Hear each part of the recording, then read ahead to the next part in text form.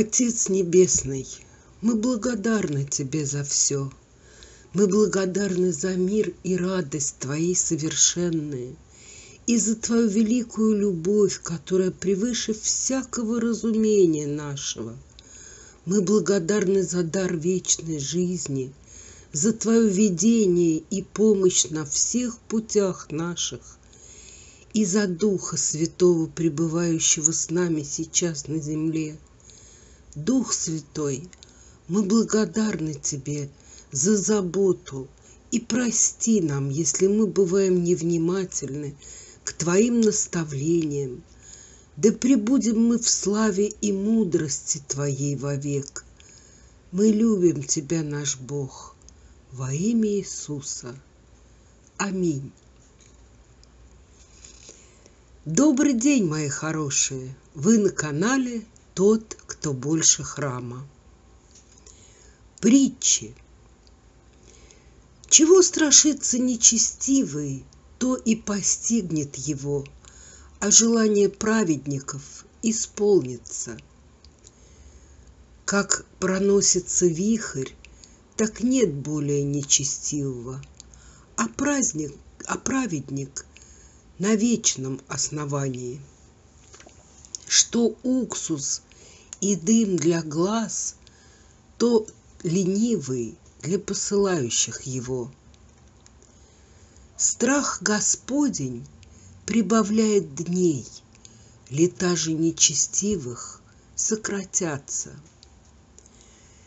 Ожидание праведников – радость, а надежда нечестивых погибнет. Путь прав... Господень – твердыня для непорочного и страх для делающих беззакония. Праведник вовеки не поколеблется, нечестивые же не поживут на земле. Уста праведника источают мудрость, а язык зловредный отсечется. Уста праведного знают благоприятное, а уста нечестивых – развращенное. Сегодня мы читаем Деяния святых апостолов, главу девятую.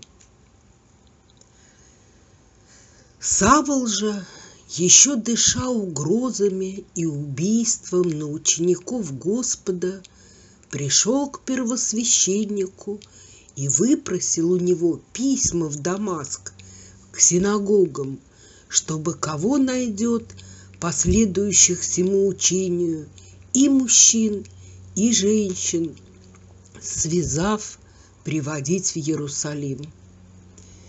Когда же он шел и приближался к Дамаску, внезапно осиял его свет с неба. Он упал на землю и услышал голос, говорящий ему, «Савол, Савол, что ты гонишь меня?» Он сказал, «Кто ты, Господи?» Господь же сказал, «Я Иисус, которого ты гонишь. Трудно тебе идти против рожна». Он в трепете и ужасе сказал, «Господи, что повелишь мне делать?» И Господь сказал ему, «Встань и иди в город, и сказано будет тебе, что тебе надо делать». Люди же, шедшие с ним, стояли в оцепенении, слыша голос и никого не видя.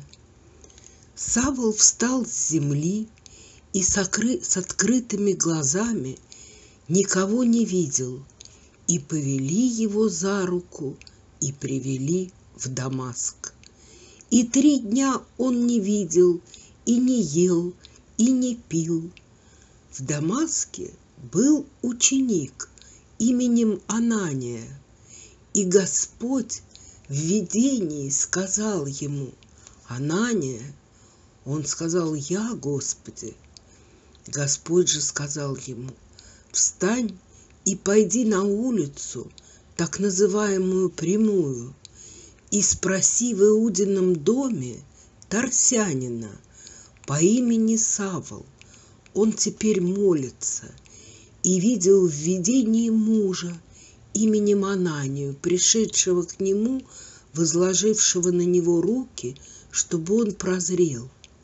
Анания отвечал, «Господи, я слышал от многих о сем человеке, сколько зла сделал он святым Твоим в Иерусалиме, и здесь имеет от первосвященников власть вязать всех призывающих имя Твое.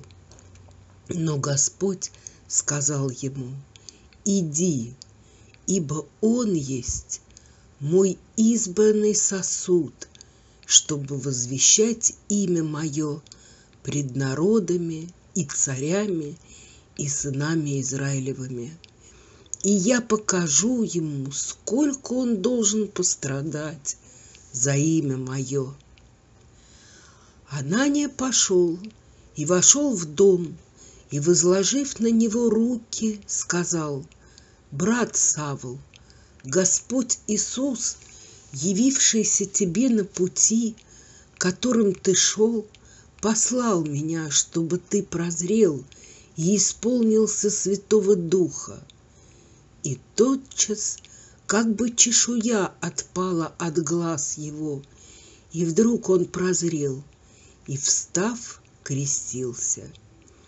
И, приняв пищи, укрепился, и был Савол несколько дней с учениками в Дамаске, и тотчас стал проповедовать в синагогах об Иисусе, что Он есть Сын Божий. И все слышавшие дивились и говорили, не, не тот ли это самый, который гнал в Иерусалиме призывающих имя сие, да и сюда затем пришел, чтобы вязать их и вести к первосвященникам. А Савл более и более укреплялся и приводил в замешательство иудеев, живущих в Дамаске, доказывая, что сей есть Христос. Когда же произошло довольно, прошло довольно времени, иудеи согласились убить его. Но Савол, узнав об этом, умысли их, и они день и ночь стерегли у ворот, чтобы убить его. Ученики же ночью, взяв его, спустили по стене в корзине. Савол прибыл в Иерусалим и старался пристать к ученикам, но все боялись его, не веря, что он ученик. Варнава же, взяв его, пришел к апостолам и рассказал им, как на пути он видел Господа и что говорил ему Господь, и как он в Дамаске смело проповедовал во имя Иисуса – и пребывал он с ними, входя и исходя в Иерусалиме, и смело проповедовал во имя Господа Иисуса. Говорил также и состязался с еленистами, а они покушались убить его. Братья, узнав о сем, отправили его в Кесарию и припроводили в Тарс. Церкви же по всей Иудее, Галилее и Самарии были в покое, назидаясь и ходя в страхе Господнем, и при утешении от Святого Духа умножались. Случилось, что Петр, обходя всех, пришел и к святым, живущим в Лиде. Там нашел он одного человека именем Энея, который восемь лет уже лежал в постели в расслаблении.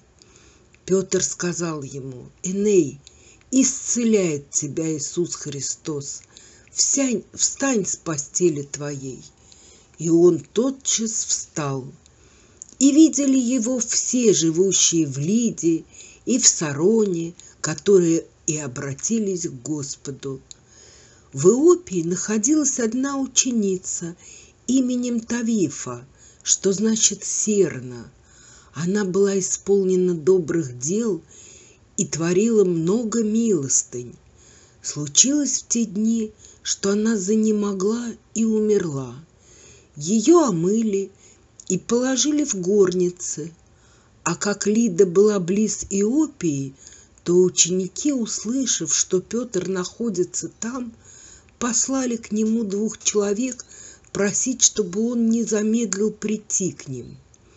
Петр встал и пошел с ними, и когда он прибыл, ввели его в горницу, и все вдовицы со слезами предстали пред ним, показывая рубашки и платья, какие делала серна, живя с ними.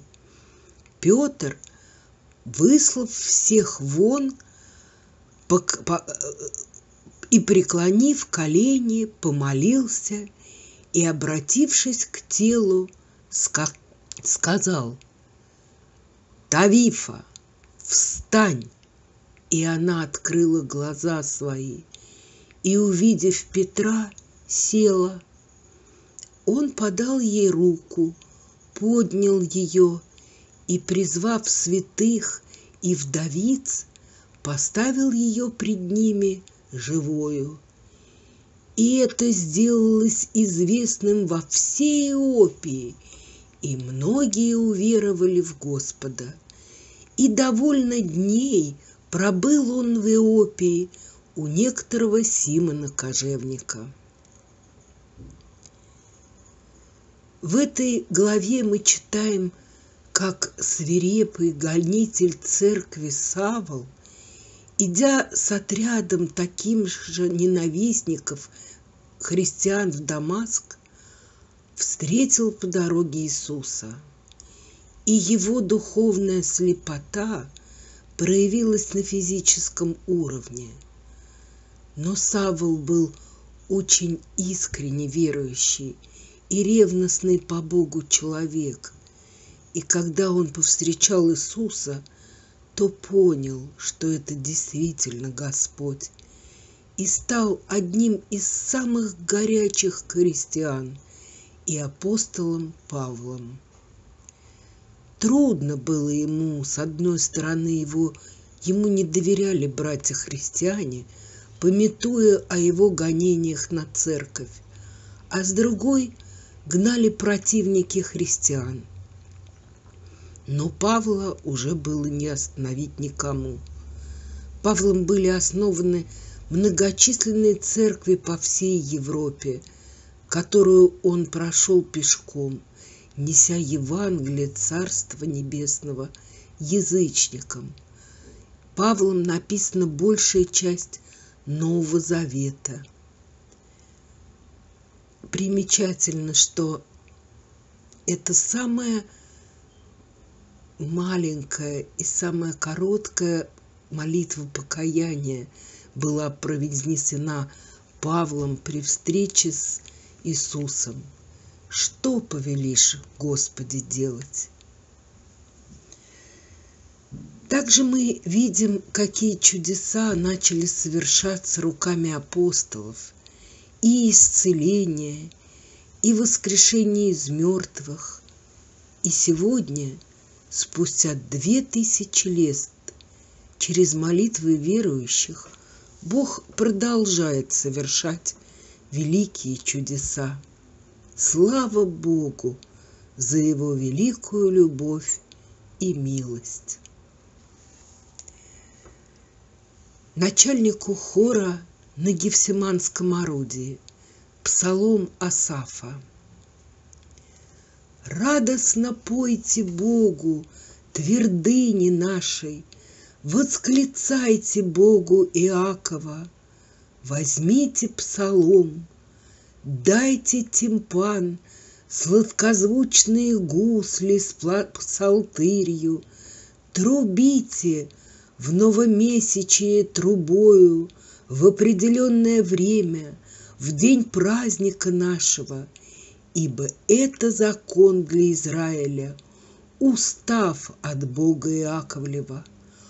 Он установил этого свидетельства для Иосифа, когда он вышел из земли египетской, где услышал звуки языка, которого не знал.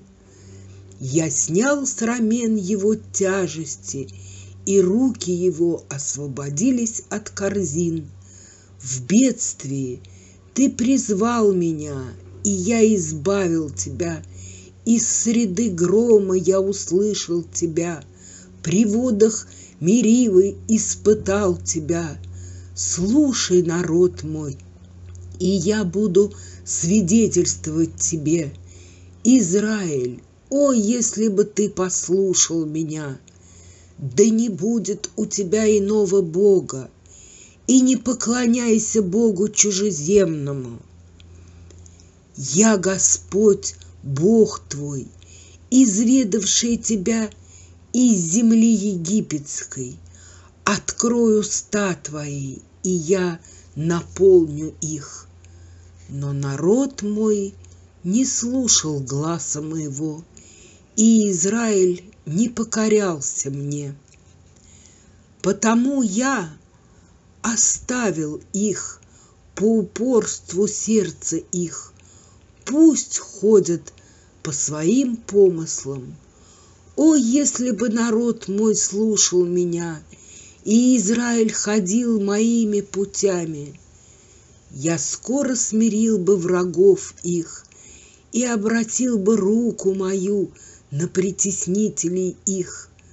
Ненавидящие Господа раболепствовали бы им, а их благоденствие продолжалось бы навсегда. Я питал бы их туком пшеницы и насыщал бы их медом из скалы. Дорогой Господь, мы благодарны Тебе, что Ты дал нам Духа Святого, Духа истины, который всегда с нами. Дух Святой, мы благодарны Тебе – что Ты просвещаешь очи наших сердец, наставляешь нас на всякую истину, направляешь наш разум в постижении Твоего Слова. Ты производишь в нас желание следовать за Тобой, чтобы мы, все преодолевшие, устояли, держась за единственную истину. Истину – Твоего святого Слова. Мы благодарны Тебе, что Ты каждый день меняешь и преобразуешь нас, и мы не остаемся прежними. Славим и благословляем Тебя, наш Господь, во имя Иисуса. Аминь. Будьте благословенны. До встречи!